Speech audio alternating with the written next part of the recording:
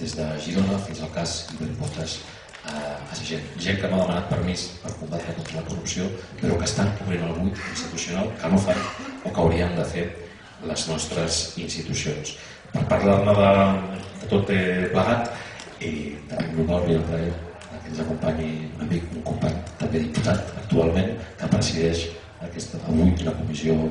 eh, no sé si diré, però la Comissió de Mesures d'Estudi eh, en la lluita contra la corrupció i per la regeneració democràtica amb totes i tots vostès, companys Arenyes.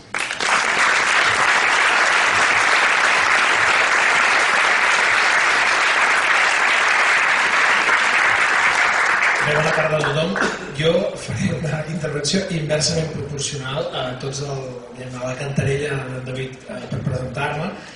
i més després de que la intervenció de Julià ja d'alguna manera ja has explicat el problema i l'has resolt eh, diguem quina és la, la solució. No? Jo simplement volia explicar que certament doncs, des, del, des del Parlament doncs, hem estat intentant seguir no, part de la feina que veu engegar vosaltres amb la, amb la CIFE, amb la coneguda Comissió Pujol, a través d'aquesta altra comissió que es va crear en aquesta legislatura, que és la Comissió d'Estudi de Mesures contra la Corrupció per la Regeneració Democràtica, i que bé, que hem continuat no, pensant, eh, buscant maneres i buscant vies per eh, combatre la corrupció, per minimitzar el frau no, i, i anar pensant instruments legislatius i no legislatius per, per, per màxim eh, ferms possibles per, per erradicar aquest fenomen. No? Amb una,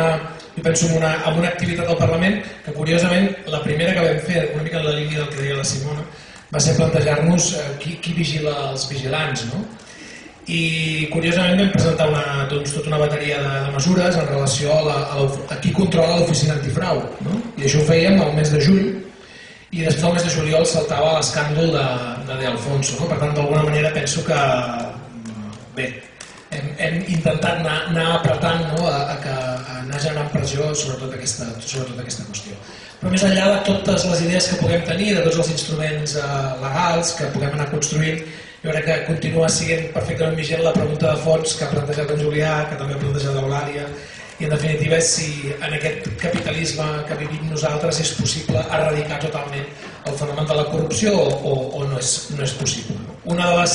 intervencions més interessants que hem tingut al llarg de les sessions de la comissió és la d'un fiscal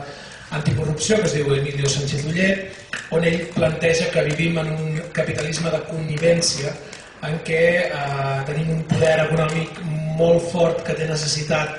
que, de ser ajudat pel poder polític per tal de continuar acumulant eh, capital i beneficis i que tenim un poder polític que té necessitat del poder econòmic per poder-se continuar mantenint en el poder no? i que per tant entre aquests dos poders es genera entre ells un espai d'intercanvi, d'intercanvi d'interessos, d'intercanvi de favors, on moltes vegades ens és molt difícil poder dir que aquest ha fet això a canvi d'això altre, perquè precisament és aquesta connivència que existeix entre ells que genera una mena de temptació permanent a la, a la, a la corrupció. No? I aquest, jo crec que aquesta manera d'aquest enfoc que li dona Sánchez Ullet és, és bastant realista i també ens, ens demostra la magnitud i la dificultat, la dificultat del problema. Però també Sánchez Ullet ens recorda un, un, un element que a mi em sembla important a l'hora de defensar la lluita política contra la corrupció, que és que, a banda de tots els forats que heu detectat vosaltres, no, aquests cinc grans forats de, de, de corrupció, assenyala que hi ha tres espais on, on la corrupció també és molt, molt procliu, no? que són tres vivers de corrupció, i ens parla de la privatització de serveis públics com un espai eh, generador de corrupció, ens parla de la creació de fundacions, eh, consorcis i altres pantalles paralegals com espais per generar corrupció i ens parla dels nomenaments a dit i dels càrrecs eh, eventuals i tots aquests mecanismes d'entrar de, gent, enxufar gent a l'administració com un altre gran focus de corrupció. Per tant, al final, d'alguna manera, aquest debat sobre la privatització dels serveis públics ens porta eh, al cap del camí també sobre la lluita eh, contra la corrupció. És a dir, que aquells que d'alguna manera lluitem dia a dia o intentem lluitar dia a dia per defensar uns serveis públics forts, eh, directes, eh, transparents i universals, d'alguna manera també estem lluitant contra el fenomen de la corrupció perquè a la que obrim la porta que l'empresa privada entri en aquests, en aquests espais doncs afavorim també un creixement de la, de la corrupció. Per tant, en definitiva,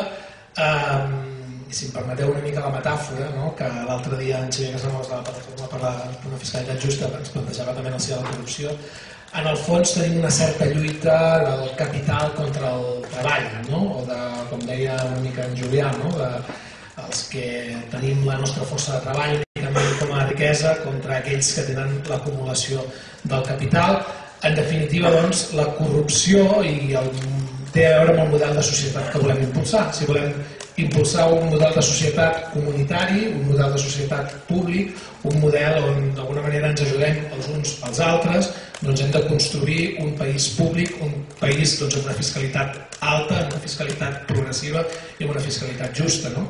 Tots aquests debats van una, una mica de la, de la mateixa mà, és a dir, aquells que no volen una fiscalitat alta, que no volen una fiscalitat progressiva, que no volen una fiscalitat justa, que no volen uns serveis públics forts, que no volen d'alguna manera un sector públic fort, és perquè d'alguna manera aposten per una societat individual, un eh, sabe si quien pueda, campi qui pugui, i en definitiva aposten per un model de corrupció i per un model on, el, on la corrupció sigui precisament la via, la via més vàlida. I per tant, doncs, eh, ens cal seguir lluitant en defensar el sector públic, en defensar els serveis públics i penso que la nostra gent, aquesta llarga llista que ha fet en David, no, de, de tantes acusacions populars, de tant de moviment popular eh, contra la corrupció, és, insisteixo, també un model de defensa d'un país públic, d'un país comunitari i d'un país més igualitari i eh, per tothom. I penso que és l'orgull, és un dels orgulls més importants eh, d'aquest país, que eh, allà on anem hi ha gent disposada a defensar els recursos i els béns comuns que són de tots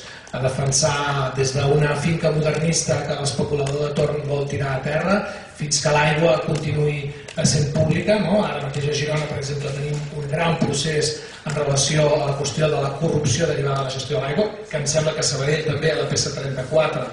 del cas Mercuri també tenim tot el tema de la corrupció en relació a l'empresa Cassa, no? d'aquí d'aigües, i per tant jo crec que és el, el, el gran orgull, els grans protagonistes i els grans herois i heroïnes d'aquest procés contra la corrupció que són que arreu del territori hi ha qui eh, continua defensant dia a dia que tots aquests recursos, sigui l'aigua, sigui la sanitat, sigui eh, l'urbanisme, sigui el que sigui, continuï al servei de tothom. Per tant, jo no puc fer més que demanar que aquesta lluita, que aquesta lluita continuï. Moltes gràcies.